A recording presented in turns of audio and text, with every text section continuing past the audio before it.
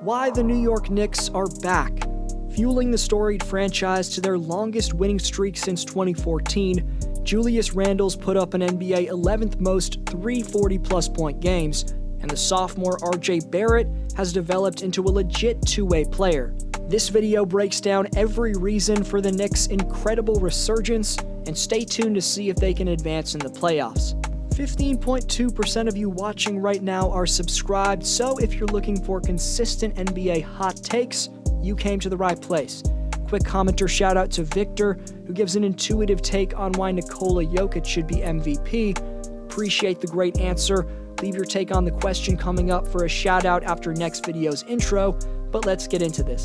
RJ Barrett's second season has seen him improve in almost every statistical category, while Julius Randle's taken the reins as the team's number one option and ran with it. We'll get to New York's elite bench backcourt of Derrick Rose and the shockingly impressive rookie Immanuel Quickley, but first, some respect has to be given to the Knicks' top two options, who I just mentioned. The former Laker lottery pick Julius Randle has morphed into a perimeter scoring menace as this man has Knicks fans chanting MVP every time he steps to the free throw line. Not just any players built to perform under the pressure that comes along with playing in the mecca of basketball, but Julius has stepped up to the moment and has returned the Knicks to their winning ways that they had going in the early 2010s and, of course, back in the 90s with Patrick Ewing. Averaging an NBA most 37 and a half minutes per game, Julius has posted career highs across the board and been the main factor to New York having a 34 27 record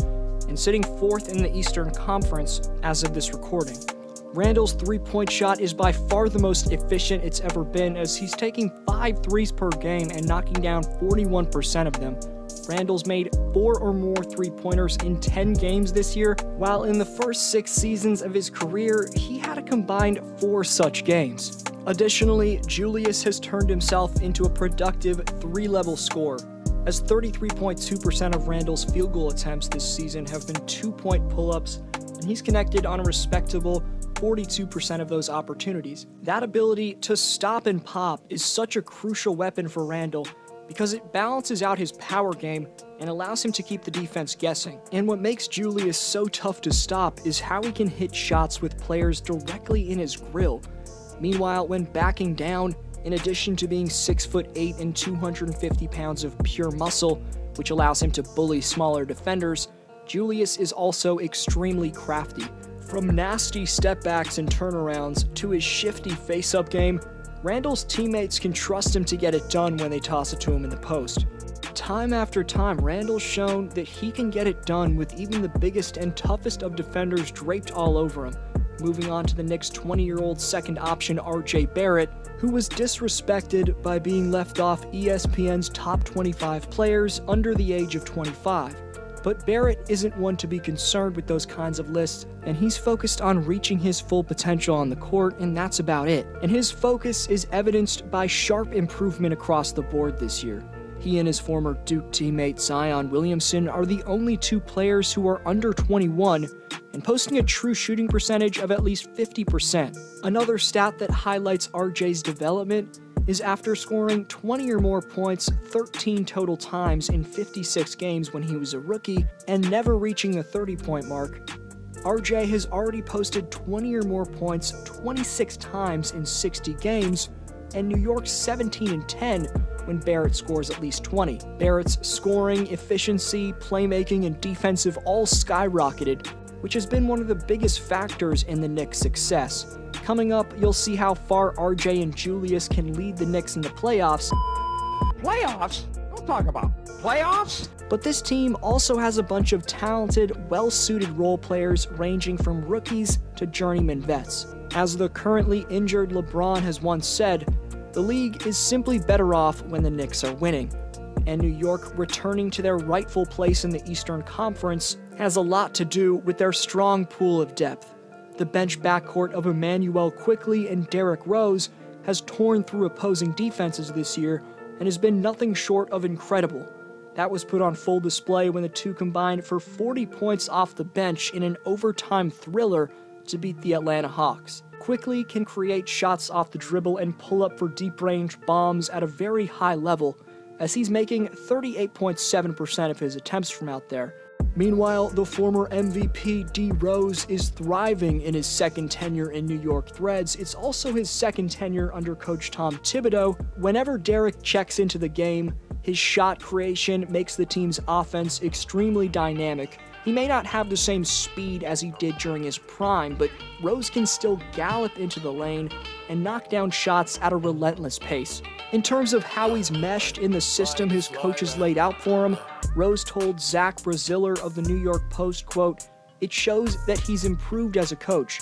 He's already a great coach, but every year he's improving and adjusting. That's the big difference that I see with him this year. He's giving guys more freedom to go out there and play the way they want he's being positive on the court. That take from D Rose was spot on because Thibs is a Coach of the Year candidate, taking the Knicks from the dweller of the East into a playoff team. Without the roster changing over last offseason, Tom's taken the Knicks from the 13th ranked defense in 2019 20 to the third ranked defense in 2021.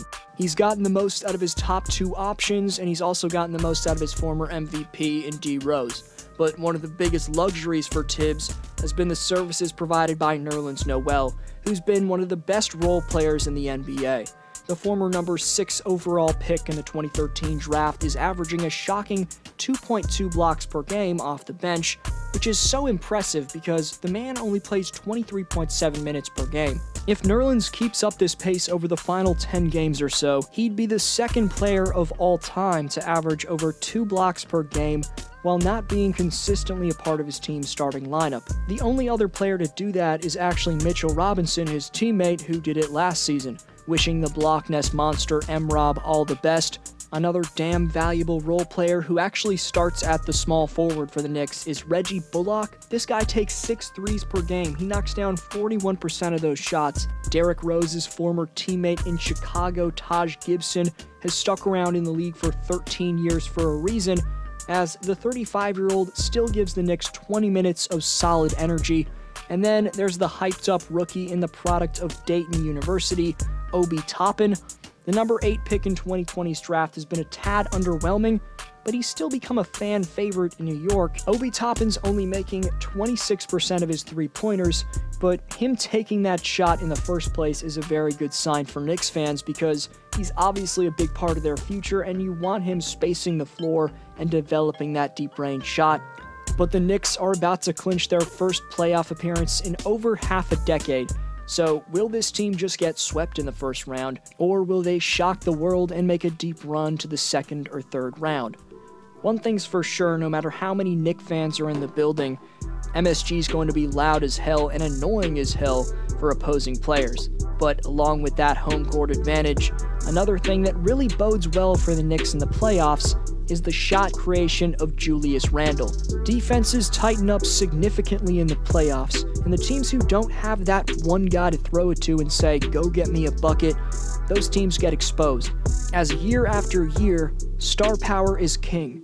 Whether the shot's contested or not, the Knicks' breakout sensation Randle can seamlessly create offense and execute off the dribble by using his elite strength, poise, and handle. Since Randle's days with the Lakers, where his game was extremely raw, he's added a ton of finesse to his offensive repertoire. And you can't forget how crucial the development of RJ Barrett is, whose three point percentage has gone from 32% in his rookie year to 38% in his sophomore campaign. RJ was overshadowed by Zion and Ja Morant in his rookie season, but now Barrett's proving why he was the third overall pick in the 2019 draft with two legit top scoring options managing the offensive flow for this year and into the future, this young New York team is going to be a force to be reckoned with for many years to come. From their coaching to the back end of their roster, the Knicks also have a ton of playoff experience. Obviously, their top two players don't, but the veterans will help them,